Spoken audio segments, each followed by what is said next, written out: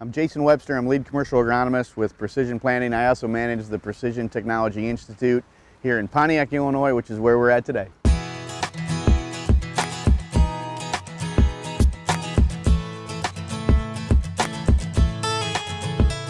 This is some exciting technology that we have at Precision Planting and you know, one farmer may look at this and say, well, that's just a Keeton seed firmer that we've used for a lot of different years. And it kind of looks that way from the first look at it. However, this new tool that we have allows us to sense in the furrow as we're planting like we've never sensed before. And this is gonna be a, a really interesting way to collect information as we plant. Yes, this is a, is a Keeton seed firmer, but we introduce sensing technology on the tail of this smart firmer that does a lot of things for us. And it gives us the ability to sense in the, in the furrow that we create as we're dropping seed in the trench and tell us about the environment around that seed. This little round circle right here on, on the smart firmer actually is a temperature sensor.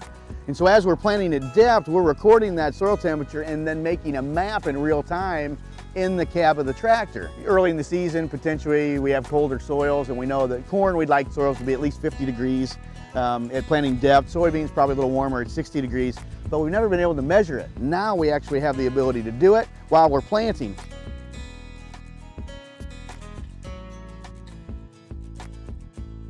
One of the things Smart Firmer can do for us is as we're planting corn, it'll tell us how much moisture is in the furrow.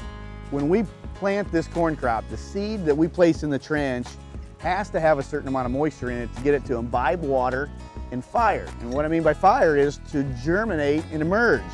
If we plant seeds in dry dirt, they're gonna sit there for a long time until we get a rain and that's, you're gonna get an uneven emergence and that's gonna affect ear count, it's gonna drive yield lower.